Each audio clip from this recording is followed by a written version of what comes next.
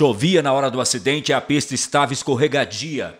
Após uma curva, o carro saiu da pista, bateu em um barranco e capotou na BR-146, no trecho que liga Poços a Andradas. O condutor de 20 anos de idade e uma passageira de 17 foram socorridos por uma equipe do Corpo de Bombeiros e levados ao Hospital Margarita Morales, na zona sul de Poços.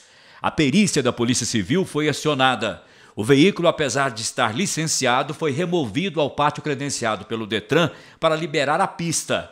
O dono deverá receber uma multa referente às condições dos pneus do carro. Nós chegamos no local, o bombeiro já tinha socorrido as vítimas e nós não tivemos contato com nenhuma delas. Aparentemente foi o condutor e uma passageira.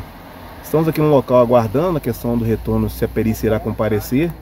E tão logo não compareça, vai ser liberado o veículo para remoção por parte de familiares. Há relatos de testemunhas que no momento do acidente estava chovendo bastante. Os bombeiros, como eu disse, estiveram aqui primeiramente antes de nossa chegada e prestou socorro às vítimas e permaneceram na sinalização até nossa chegada.